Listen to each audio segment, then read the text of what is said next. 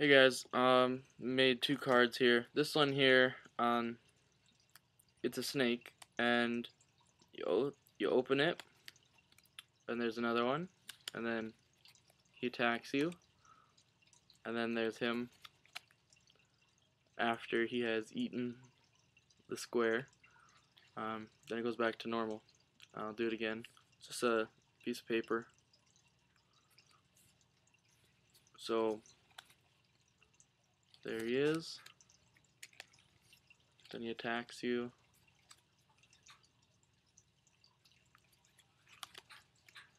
Then he's left. So there you go. And then there's another one here where this one's for card trick, um, but you would trim this down at the top or the bottom, but you would only have one of these. Um, but the point is that it splits open like this, even though it's just one card. Um, but you don't have to pull both tabs, you just have to pull one tab. Um, it's kind of cool. I'm going to use it for a trick, try it out at school. Um, be like, hey, is this your card? No? How about this one? Pull it up.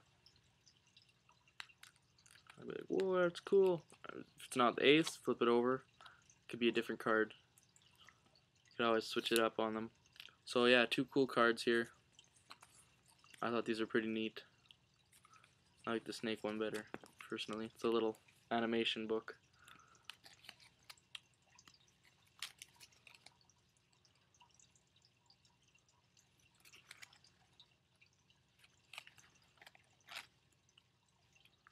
So yeah,